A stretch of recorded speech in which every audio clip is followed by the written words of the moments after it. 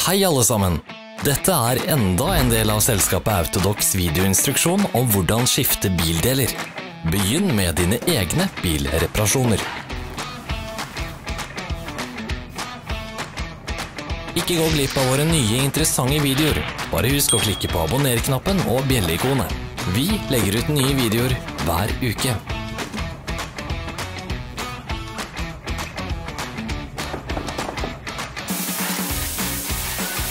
For mer informasjon, sjekk beskrivelsen under videoen.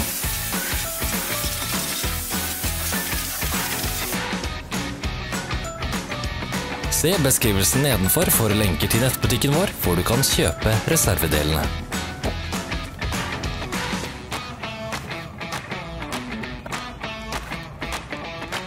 Takk for at du så på. Hvis du likte videoen, skriv til oss i kommentarfeltet. Følg oss på sosiale medier.